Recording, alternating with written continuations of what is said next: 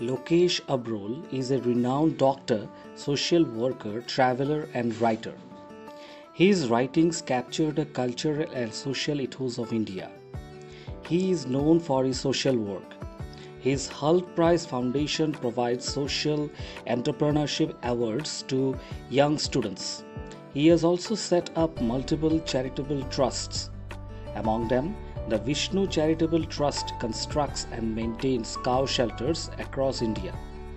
His travelogue, Glimpses of India, Coorg, gives a detailed description of Coorg, its inhabitants, and attractions.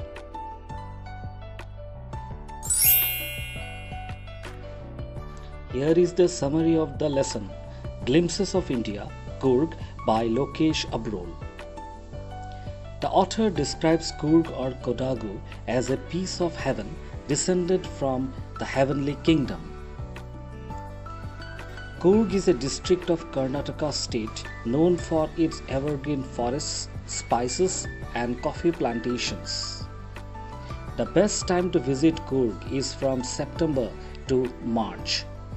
The inhabitants of Coorg or Kodavus are known to be fiercely independent. There are multiple stories surrounding the ancestry of the Kodavus. According to one story, the Coorgis are descendants from the Greeks. During Alexander the Great's invasion of India, a part of the army traveled to South India and could not make their way back to the impossible terrain. So they settled in what is known now as Coorg and mingled with the locals adopting their culture, food, and traditions. Another story surmises possible Arab descent based on the kuppia or the long black coat worn by the Kodavus, which is like the Arabic garment kuffia. The Kodavu people are also known for their hospitality and bravery.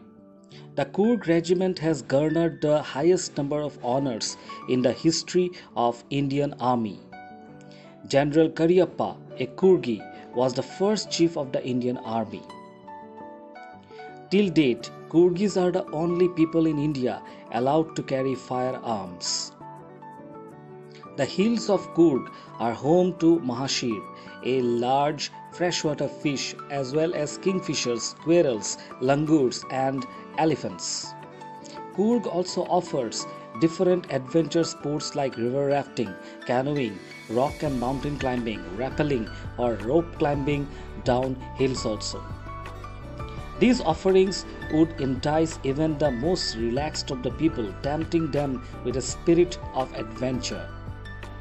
One can also trek the mountains in the company of birds, bees, and butterflies with macaques and squirrels, langurs, watching them from different trees.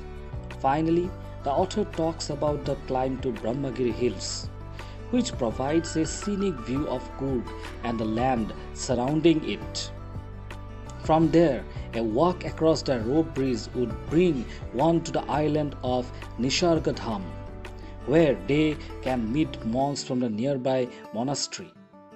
Coorg, the author says, is full of attractive surprises for any visitor looking for the heart and soul of India. Thank you.